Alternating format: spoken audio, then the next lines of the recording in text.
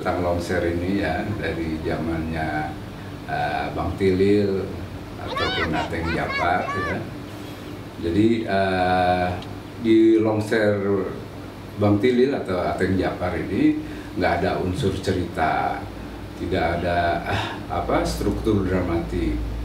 Jadi kan eh, mereka hanya sempalan-sempalan aja, sempalan-sempalan eh, bodoran. Nah, pada tahun 1984 saya bekerja di Departemen Penerangan. Nah, waktu itu saya ditugaskan di seksi pertunjukan rakyat. Nah, tugasnya adalah membuat pertunjukan untuk mewawar atau memberitakan pada masyarakat tentang uh, masalah-masalah Latihan, pembangunan, misalnya KB, Latihan, dan lain-lain ya. Nah saat itu saya berpikir bahwa uh, Longser ini uh, medianya tepat untuk itu, karena waktu itu diskusi, kemudian uh, apa uh, wawancara ataupun lesehan udah nggak nggak nggak match lagi, masyarakat udah bosen.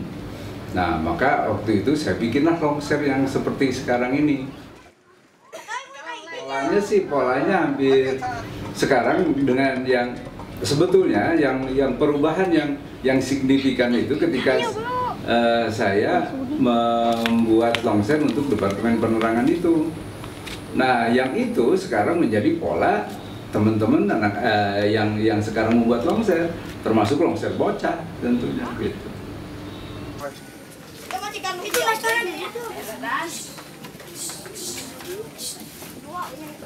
Karena awet mora ngeram teu karibut gitu di sekolah. Ya. Siap. Yuk. Ngarwa heula. Pimpin ku macan. Sebelum mulai AIWO Sebelum kita poka, mari kita berdoa, berdoa di dalam hati mulai.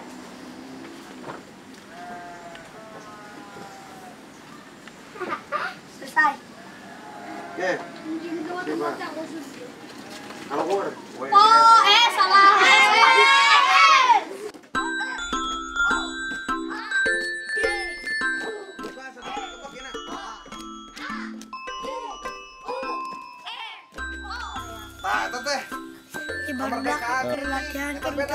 Bandung. Wahana Satya Sunda. Eh, WSS adalah sebuah pusat konservasi seni budaya. Belum lama berdiri WSS, tapi eh, alhamdulillah kami sedikitnya sudah menemukan potensi dari anak-anak WSS, terutama di wilayah Longser. WSS dapat mencetak produk baru yakni sebuah longser bocah mana anak-anaknya notabene adalah anak-anak usia dini anak-anak TK dan SD Eh, WSS dalam perjalanannya eh, tidak hanya pada sebuah seni teater saja, tapi di sini adalah banyak seni-seni lain yang digarap oleh WSS. Ada seni karawitannya, seni tari, dan juga seni rupanya juga.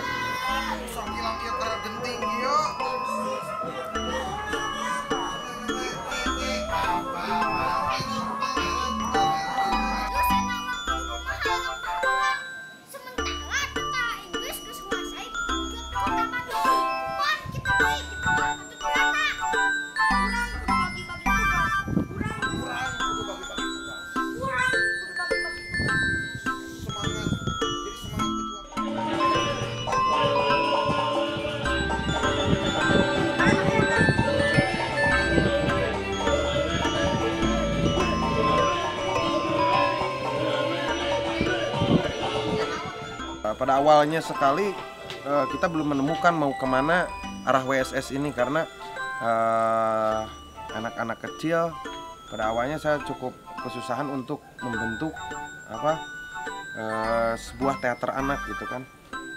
Tapi sedikit demi sedikit awalnya kita dari permainan tradisional dari lagu-lagu kawih-kawih murang kali uh, apa lagu-lagu mangkoko gitu kan. eh, lagu-lagu cangkurileng itu kita kemas menjadi sebuah eh, teater.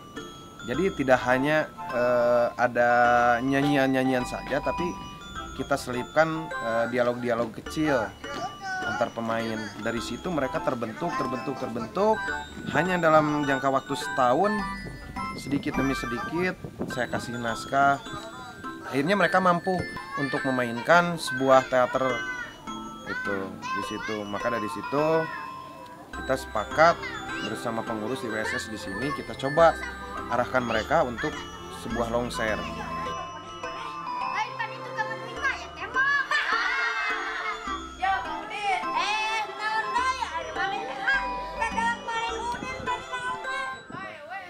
macan sendiri di sini dia dari awal sudah ada dia adalah eh, anak kecil yang proaktif waktu itu memang dia sudah sudah sudah kelihatan makanya saya sudah membayangkan kalau ini anak dikasih eh, longser ini ini pasti akan apa akan bisa eh, membawa teman-temannya yang lain untuk bisa mengikuti alur yang saya buat. Nah ini nih ada eh, kebetulan Macan, Chan sini Chan. Nah ini Macan eh, salah satu aktor Longser Bocah di WSS yang kebetulan waktu kemarin 2015 Macan sebagai juara eh, aktor terbaik aktor terbaik di Festival Longser Dunia Bandung yang kelima.